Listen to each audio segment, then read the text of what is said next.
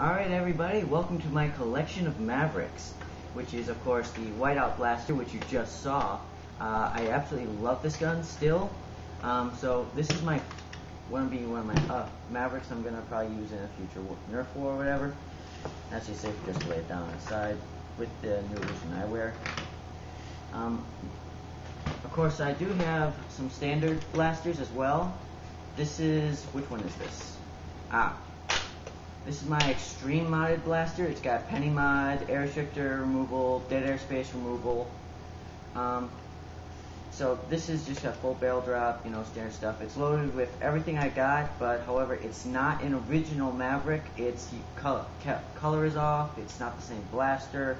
It also gets a little bit weaker ranges, which is a it's a brand new one, but it's also one of the older. It's not one of the older ones that is still really good. Now here is one of my older ones, which I was able to get a hold of. Actually, I was able to get a hold of a couple of them. This one is, which one is this one? Ah, this is the completely still stock one. Um, which is great, because I'm still not really sure what I'm going to do with that one. Here's the um, uh, full modded one. Oh. I don't like my darts flying everywhere. Yeah, it doesn't have full barrel drop done yet. Uh, I'm not sure why I didn't do that. Probably for a good reason. Anyway, this is my other full, fully modded Maverick. Okay, stay. And here is my signature blasters, as you can see. The basically what I did to them is I completely switched out the barrels. And to do that, I actually switched out the plastic tabs that hold the barrels I also switched out the um, plastic tabs here for unlocking the drum. And back here is also switched out as well. I am considering maybe painting this part black along with this outer piece right here and painting that tiny little bit right there bright orange, but I'm still debating. This one is my personal favorite because of the look, the feel. So between these two, I do like the whiteout more, but I gotta say this is one of my proudest um, uh, mods, even though it's so simple. Um, I did have to add a little bit of foam up here at the front. Otherwise, the um, uh, barrel wouldn't sit back far enough to get a good seal. So that's what that is. These are, if I remember, if you ever see a Nerf war and uh, you see somebody dual wielding a pair of these, most likely it'll be me. Because these will be most likely my dual wield weapons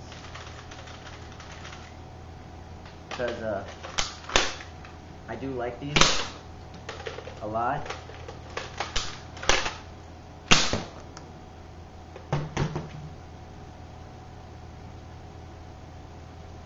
I definitely need the air restrictor for the, from this one. It's uh, still getting not that great ranges, and for some reason darts don't like to come out.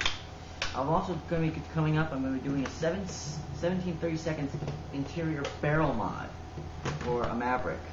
Uh, I know it's kind of weird, but a lot of people do PVC, but I want to do a 17 30 seconds because I still want to be able to fire Whistler darts as well as streamlines. So I'm kind of hoping I can get that done. Now, time for my ultimate Maverick. Come on. Come on. You saw this once before my full barrel drop. But now I'm going to show you a little more. This part here is the main gun. This is just the stock reinforced, which you can click on this if you want to go see how I did that. So as you can see, it's uh, it's part of a Recon, and it's also uh, a Maverick up here with a small rubber band. Don't ask me why. But I don't want it. This this gun alone deserves its complete own review because I love this gun. I'm glad I made it. I just wish I could have made it better. I mean, I made this in a rush job. I made this in about anywhere from eight to ten hours using nothing more than chopsticks, hot glue, cardboard, and a bunch of miscellaneous pieces I just had lying around. I love this gun. I just wish I could build it better. What it is essentially is the front gun completely responds to everything back here. So I can fire it. I can still cock, reload. That was a little pathetic, anyway. But the reason why I did this is because secretly, this gun can actually shoot around corners. yeah, you're thinking gun can shoot around corners, big deal.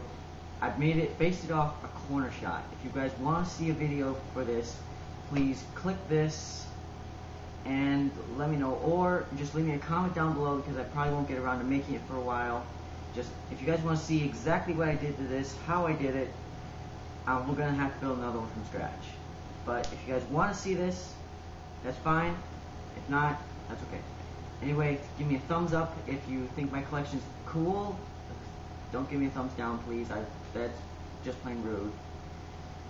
Um, so just let me know. Is there any specific Maverick you want to know more about? Uh, get back to me and see you around, nerd.